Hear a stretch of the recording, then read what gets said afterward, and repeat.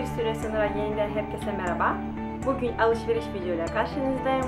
Rusya'da ilk yaptığım kozmetik alışverişlerle ilgili bahsedeceğim. Hemen ürünlere geçiyorum. İlk ürünü daha önce göstermiştim. Neden sisi krem. Kapatıcı özelliği bazı fondötenlerden daha iyi. Cildinize güzel, sağlıklı aydınlık veriyor. Bu ürün hem fondöten, hem kapatıcı, hem primer, hem aydınlatıcı, kalıcılık süper. Onun dışında SPF 20 içeriyor. Cilt tipi için kullanabilecek bir CC krem. Yurt dışına giderseniz eğer veya internet üzerinden bulabileceksiniz eğer şiddetle tavsiye ediyorum. Ondan sonra Catrice'den kaş kalemi aldım. Öbür tarafta fırça da var. Fazla bir şey söylemeyeceğim. Pratik, kaşlarınızı hızlı bir şekilde doldurabilirsiniz. Severek kullanıyorum. Bir sonraki ürünü de Catrice'den aldım. Mat bronzlaştırıcı pudra. Şu an yüzümde var. Çok beğendim. Sadece bir eksiği var. Biraz tozlu bir ürün. Onun dışında şu ana kadar her şey beğendim. Rengi ise medium skin. Onun dışında ambalajı da çok hoş bence. Sonraki dört ürünü Maybelline'den aldım. Birincisi ise Color Sensational Rouge. Tam yazlık bir renk. Rengi 140 Intense Pink. İlk uygulandıktan sonra bayıldım. Şu an dudaklarımda var. Çok yumuşak hissini veriyor. Dudakları da çok doğal gözüküyor. Herkese öneriyorum. İkincisi ise dolgunluk veren rimel. Şöyle bir fırça var. Üzerinde de nasıl diyeyim dolgunluk sağlayan tüyler var. Bu rimeli sevdim. Ama drugstore rimellerde şöyle bir şey var.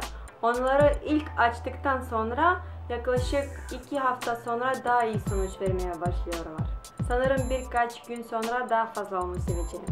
Bu seri Türkiye'de satılıyor mu bilmiyorum ama bulabileceksiniz eğer öneriyorum. Maybelline'den üçüncü aldığım ürün YouTube'da meşhur olan The Falsies Volume Express Mascara. Daha önce tabii ki kullanmıştım. Süper volume veriyor. Hiç akmıyor, uygun fiyatlı, süper bir yemek. Maybelline'den son aldığım Colorama seriden bu ojeydi. Şu an bu tırnağımda var. Sadece tek kat uyguladım. Sürmesi çok kolay, çok iyi dağılıyor ve kalıcılık fena değil. Sonraki ürünlerini Essence'den aldım. Birincisi meşhur kaş jeli. Onunla ilgili fazla bir şey söylemeye gerek yok. Vazgeçilmezlerden biri. İkincisi ise yeni çıkan farlardan 77 rengi. Şu an gözlerimde var. Şimdi daha yakından göstereyim. Bronzlaşmış yüze yakışacağını düşünüyorum. Yaz için süper bir renk. Essence'den son aldığım kalem tıraşıydı. Satıcı önermesiyle aldım. Plastik kalemlere de uygun dedi. Aldım ve çok memnun kaldım. Ve son aldıklarıma geçiyorum. Bakım ürünlerini size göstereceğim. Sıcaktan dayanamıyorum artık. Beyaz kil ile maske aldım. Gözenekleri sıkılaştıran sivilcelere karşı antibakteri bir maske. İki kez kullandım ve şu ana kadar çok memnun kaldım. Lumine'den yüz yıkama jeli aldım. Bu ürünle ilgili ne iyi bir şey söyleyebilirim, ne kötü bir şey söyleyebilirim. Normal yüz yıkama jeli. Tekrar alacak mıyım? Hayır, zannetmiyorum. Son iki ürün saçlar içindir. Keratinli ürünleri aldım. Şampuan ve saç kremi. Daha önce bahsetmiştim. Burada Novarosis'te saçlarım kabarık duruyor. Bu yüzden bu şampuan ve saç kremi saçlarıma çok iyi geldi. Bu şampuanı daha kırımdayken kullanmıştım.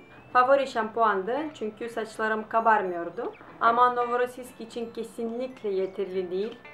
Bu yüzden sonbaharda keratin saç düzleştirme yapmayı düşünüyorum ve inşallah yapacağım.